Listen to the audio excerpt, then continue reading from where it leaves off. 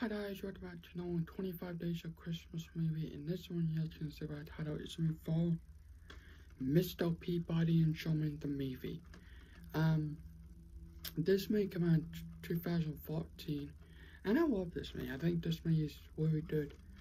Um, this is from DreamWorks, but it says 20th Century Fox at the bottom. Anyway. Mr. Peabody and Sherman is a third one. Mostly what this is about, well, um, Mr. Peabody, he has a son. Um, I think that's him. That's him, son. Anyway, and then he goes to school, and the girl right here kind of makes fun of him because he finds out that him dad is a dog. So, um, but in the middle of the movie, they become friends, they team up, and they actually become friends. Kind of become friends because these mean people want to come and get them. So, yeah. Um, here's the dust. I'll show you guys this real quick, and we'll move on and talk about more stuff. So, here is this, and then Chuck the Cheese on the back.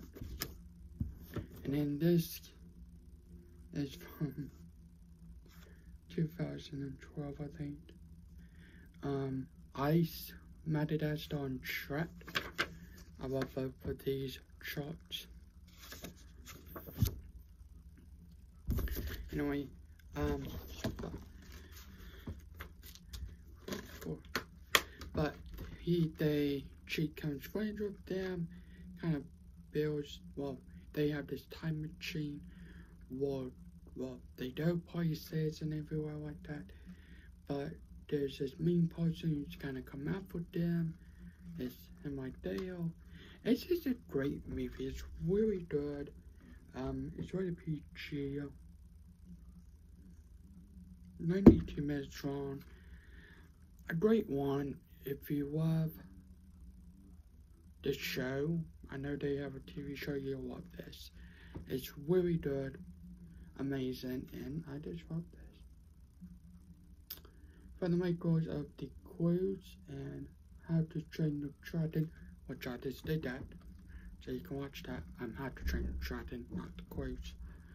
But yeah, it's a great movie. I love the two main characters. I love Mr. Peabody and Sherman. Um, but yeah, mostly um, in know, half of the beginning of the movie, he make, she makes fun of him white, taking food at lunch, and there's and he she said to fetch because him dad is a dog. So um, it kind of did like mean people be mean to him at school and everything like that. But it is a great movie. You haven't seen this, it is a good one. Um, you can probably get this for probably like five dollars now. Alright. Um, I thought this had a yellow sale, something I had. I don't remember what I thought this. Anyway, um, thanks for watching. Hope you guys have a good day tonight. See you next video. Bye.